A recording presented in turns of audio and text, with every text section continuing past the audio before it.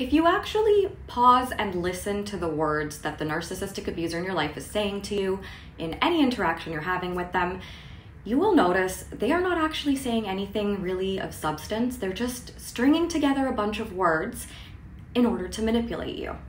Sure, sometimes what they're saying might be rooted in some form of truth, but there's always a manipulation tactic going on. And if you don't believe me, that's okay. You can see it for yourself the next time you have an interaction with the narcissist in your life. Their behavior is very predictable once you know what to look out for. So look out for love bomb and devalue. That's really how they're going to be communicating with you either way. So if they are love bombing you, this is anything that sounds like it makes sense or you know anything that you want to hear could be some compliments it just really depends on the dynamic in your relationship with this person but the whole point of this love bombing is to gain your trust once they're satisfied that they've gained your trust that's when the devaluation is going to start. So that's when the guilt tripping will start. That's when the gaslighting will start, the insults, the underhanded, you know, very subtle sort of things that they say.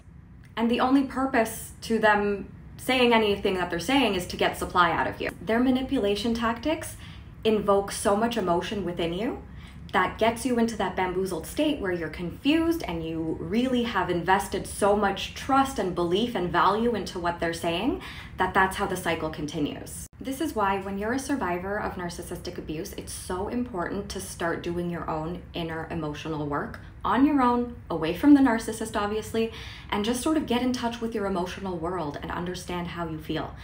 Feelings are not facts. So if you feel like allowing yourself to process that emotion will help you to release that emotion and that will create so much space in you know your your brain there so that you'll be able to actually see things more clearly. But those repressed emotions distort what you're seeing because you're so focused on you know whatever the narcissist is saying. So if they're trying to make you feel guilty you're so focused on how much of an you are because you did this really bad thing when in reality this person's just trying to manipulate you. So when you process that guilt allow yourself to feel it the rational part of your brain will come through and notify you that wait a minute this is actually a manipulation tactic and not a fact that you're a really bad person because you're trying to protect your sanity but this person just wants to get supply out of you and of course, doing this inner work and becoming an observer and being a Grey Rock champion is not an overnight process.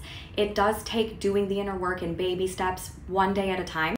And if you don't want to do this inner work alone, I have a brand new community membership for survivors of narcissistic abuse. It starts at only $22 per month. There's a bunch of resources and live events, link in bio for details.